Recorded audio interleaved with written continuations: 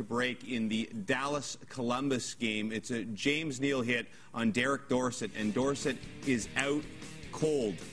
Uh, Bob, you can start on this. A suspendable offense. He got five in a game for the hit. My, my sense of it is, that, yeah, there's more likely to be a suspension than not, although it's still up in the air. Listen, there, there are a million hits like this in the National Hockey League all year long. But the result, people are saying, well, you can't use injury to dictate. Well, yeah, you can, and they do. And the fact of the matter is that Dorsett banged his head against the glass. James Neal comes in hard, he comes in fast. The appropriate call was made five minutes for boarding.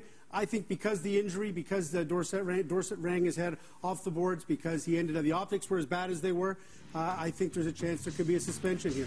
Peter? I, I, think you're right. There's a lot of times through the hockey game where this hit takes place. But what I'd like to see is something uh, uh, something happen to Neal because just because if you don't make this hit, it's going to eliminate that hit. It's going to eliminate the injury, eliminate concussions. It may happen 10 times. It may happen 100 times. And it only happens once that a player goes down and he's unconscious. Um, How many send, games? Send that message. For me, two or three games. Mike?